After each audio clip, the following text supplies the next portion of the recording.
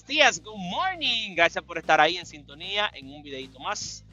Mi nombre es Benny Cepeda. El canal ahora tiene un nombre nuevo, B-Trucker, como ustedes están viendo ahí. Y como dije en el video anterior que subí. Ya ustedes saben, gracias por estar ahí. En este video vamos a tratar un tema eh, súper interesante sobre lo que la diferencia de lo que es trabajar en Uber o Lyft, cualquiera de las dos, y lo que es trabajar de camionero. ¿eh? Así que voy a contar mi experiencia en Uber, cómo fue, y la experiencia aquí también un poquito para que ustedes tengan un contraste de cómo es el asunto. Ya ustedes saben, sigan ahí, dale. Miren eso, miren, ese desfile que tengo yo delante de mí ahí, miren, miren, miren, miren, miren. Mira, mira, mira. ¿A dónde van? Estamos aquí en un lavadero de camiones, vamos a darle un bañito a este señor, ya que está bastante sucio. Eh, bueno, vamos al tema de una vez. quise hacer este video. a ponerme aquí porque viene un camionero y no quiero que se me vaya adelante. Patatín, patatán. Ok. Decía que quise hacer este, este, este videito porque estábamos hablando, que por cierto lo voy a volver a invitar, vayan al canal de Yo Soy Mr. Mr. Coach, vayan a su canal y ahí estamos haciendo un en vivo todas las mañanas de lunes a viernes de 6 de la mañana a 12 del mediodía, donde se habla muchos temas que tienen que ver con la camionada y se aprende mucho. Información totalmente gratis. Pasen por ahí. Ahí estamos hablando un tema esta mañana, precisamente, hoy, sobre ese asunto de, Uber y cosas, eh, eh, que por qué dejaste de trabajar en Uber, ahora eres camionero, etcétera. Y por eso quise hacer este video para aquí hablar un poco más detallado del tema. Eh, en Uber yo duré, y que por cierto, todo lo que voy a decir a continuación en este video es mi experiencia de Uber, pero en la ciudad de Nueva York específicamente.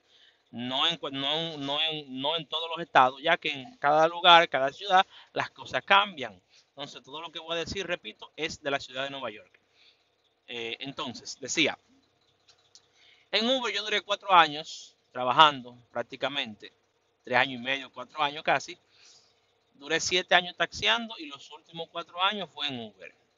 Vamos a decirlo así, o estuve en Uber. Aunque, como les voy a contar más adelante, los primeros eh, dos años, dos años y medio más o menos de que yo me inscribí en Uber, no fui estable en Uber. Yo estaba que tenía varias aplicaciones a la misma vez, que si Lyft, que si Uber, que si una base regular high class, que si incluso cuál era la otra, que si haga por una compañía de transportación médica que hay en Nueva York, específicamente en el Bronx. Entonces, de esos cuatro años que yo estuve en Uber, solamente me fue bien en Uber el último año y medio. ¿Cuál, ¿Qué fue lo que yo empecé a hacer diferente? Varias cosas. Lo primero es que yo trabajaba de taxista, pero yo no tenía mentalidad de taxista. ¿Mm? Yo no tenía mentalidad de taxista. ¿Por qué? Porque me refiero a que un taxista en Nueva York, ahora mismo tú eres taxista y tú te paras en un semáforo en rojo y al lado tuyo se para un, taxista al lado tuyo y si te hace seña de que baja el cristal, anótalo. Es 99% de probabilidad de que la pregunta va a ser la siguiente. Que cómo está la calle, que cuánto tú llevas y que si tú haces V solo o que si tú haces Lyft también. Entonces, yo me quité esa mentalidad y empecé a trabajar de manera diferente. En vez de yo pensar y salir a trabajar por una cantidad de dinero, buscando X cantidad de dinero, yo empecé a trabajar con un horario. Si yo me gustaba, por ejemplo, trabajar 10 horas, si yo quería eh, trabajar, por ejemplo, de 5 de la mañana a 3 de la tarde, yo me enfocaba en el reloj, o sea, esperando a las 3 de la tarde para irme para mi casa. Donde quiera que yo, estaba a las 3 de la tarde, apagaba la aplicación y arrancaba para mi casa. Así era como yo trabajaba. O sea, yo no trabajaba pensando, oh, ya llevo 100, oh, ya llevo uno y medio, ya yo llevo 300, me voy para mi casa, son las 11 de la mañana. No, no, no, no. Yo trabajaba mirando el reloj. Incluso en Uber, no sé hoy en día, porque ya tengo más de un año y medio que no hago Uber. En la aplicación de Uber incluso hay una opción para tú ocultar que tú no veas el dinero que vas haciendo durante el día. Incluso yo me enteraba cuánto dinero yo había hecho en la semana. ¿Ustedes saben cuándo? Cuando en ese tiempo yo tenía mi cuenta de banco en el banco Chase, cuando el banco Chase los martes en la mañana, que era cuando V pagaba, no sé si paga así todavía, me mandaba una notificación, oh, te entró un depósito de X cantidad. Ahí yo me enteraba cuánto yo había hecho la semana anterior, porque no me gustaba ver el dinero, a mí me gustaba era ver el horario, o sea, cumplir un horario. Y para lo que se preguntan, durante el último año y medio, yo trabajaba solamente de lunes a viernes en Uber, 10 horas diario, dase, sin apagar la aplicación, solamente apagaba la aplicación al momento que iba a almorzar y lo pagaba por 15, 20 o 30 minutos. Me paraba en una pompa por ahí a las 11, 12 de mediodía, más o menos, y pan, y después seguía. No importa que no me caía llamada. Yo tuve un momento que duré una hora y media rodando tranquilo en Manhattan sin caerme media llamada, pero me quedaba, pero créeme, que cuando me quedaba al final del día, eso estaba recompensado. Entonces, desde que yo empecé a trabajar de esa manera, me empezó a ir excelentemente bien. Eh, no, no que estaba siendo millonario, pero me iba excelentemente bien. Entonces, esa fue la manera que yo utilicé para Uber, para que me fuera bien. No apagar y prender la aplicación. Antes yo tenía tres o cuatro aplicaciones, como le dije, y no me iba tan bien que como cuando empecé a trabajar solamente, solamente haciendo Uber la aplicación prendida solita. Entonces, entonces ustedes se preguntarán, como me hizo Manolo Zuna la pregunta, la entrevista que me hizo.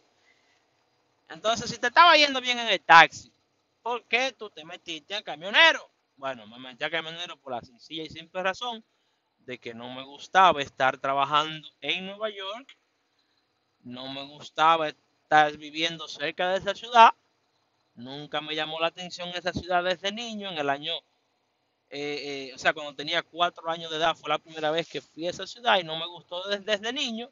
Y por tal razón fue que yo saqué mi licencia de camionero para así tener la oportunidad entonces de elegir entre tantos estados que tiene Estados Unidos para vivir.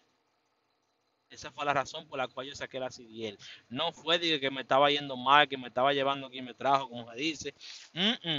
Que, que, que el taxi me tenía a mí loco. No, no, no. Incluso un amigo mío y yo, que incluso ese amigo mío está trabajando aún en Nueva York en Uber, yo siempre he dicho que él y yo somos los únicos dos taxistas de Nueva York que nunca se quejó de Uber ni de la, ni, de la, ni siquiera de TLC. TLC, para los que no saben, es la policía o la entidad, mejor dicho, que, que, que controla los taxis en Nueva York, ¿verdad? Que es como la autoridad que vigila que las cosas están haciendo bien. Y a veces me paraban taxistas en la calle y que cuidado que tiene cita allí en la 115 y Broadway. Y yo, y yo decía, ¿y qué? Yo no recojo pasajeros en la calle. Yo hago la cosa como tengo que hacerla y fue cuando mejor me fue. Cuando yo empecé a obedecer las leyes de TLC, repito, también eso fue otro factor que no lo dije ahorita, fue cuando me empezó a ir mejor en Uber. ¿Mm? Yo no me acuerdo la última vez. Incluso yo sí me acuerdo la última pasajera que yo cogí y se lo voy a contar como entretenimiento y como anécdota. Yo sí me acuerdo la última pasajera, que fue una doñita, que yo monté en la calle, fuera de lo que es una llamada a través de una base o una plataforma como Uber.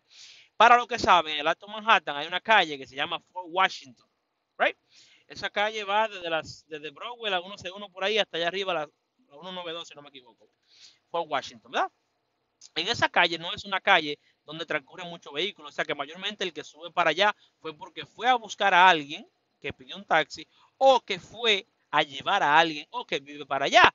Eso no es una calle común como Broadway, San Nicolás, que la gente cruza para llegar a otro lugar. Negativo. Es como una calle que está para allá atrás sola. Y más allá arriba, donde sucedió lo que les voy a contar, que fue más o menos la 190 y Fort Washington allá arriba.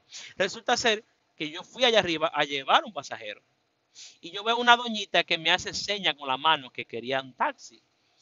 Y digo yo, ¿tú sabes qué? Yo la voy a montar a ella, porque para acá arriba, si ella nos llama a una base o pide un Uber, no va a venir nadie a buscarla, porque por aquí no cruza nadie. Entonces dije, y yo la voy a llevar. Y la monté, y en mi mente fue llevarla gratis donde sea que ella fuera.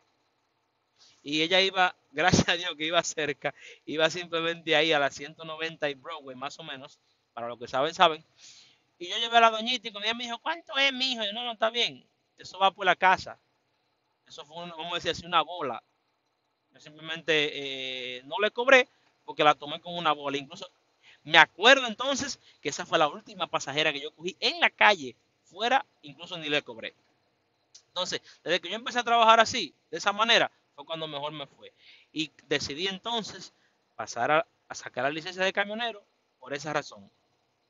Porque quería irme de Nueva York, quería irme de lo que es vivir en esa área.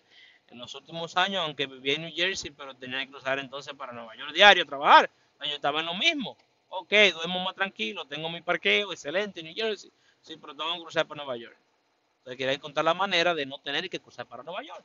Incluso, como bono, ya por último, cuando saqué mi licencia de camionero, empecé a trabajar en los puertos de New Jersey y tenía diariamente entonces que cruzar para Nueva York. Quizás no para Nueva York específicos, pero para ir para Conérico tenía que cruzar por Nueva York. Entonces yo decía, acá, yo estoy en lo mismo, o sea, cambié, saqué mi licencia, estoy trabajando en el puerto, pero tengo que ir para Nueva York como quiera. Y yo lo que quería evitar era ir a Nueva York. Yo estaba loco por conseguir un trabajito de camionero que no me tirara para Nueva York, que me mantuviera entonces en New Jersey. Porque el lío mío siempre era evitar a Nueva York. Entonces incluso por eso dejé de trabajar en los puertos en esa ocasión. Y ya cuando volví otra vez ahora, que es donde estoy, al trabajar de camionero otra vez, ya fue en un estado lejos de Nueva York. Así que nada, quería compartir mi experiencia de cómo yo logré que me fuera bien en Uber. Y esa fue la manera. Y esa es la diferencia. En dinero, eh, ahora mismo hago lo mismo que hacía en Uber en Nueva York. En dinero, porque yo no soy dueño de camión. Eh, simplemente soy eh, chofer. Trabajo para otra persona, como decirlo así. Estoy ganando lo mismo que ganaba en Nueva York en Uber. Pero pero en realidad estoy ganando más. Porque aquí se pago menos renta, tengo menos compromiso y al final si ganas lo mismo, pero empiezas a gastar menos, entonces estás ganando más. Así que nada, gracias por estar ahí en sintonía en un video más de Beat Trucker. Bendiciones para todos y como siempre me despido. Gracias y paz. Paz y gracia. Dale.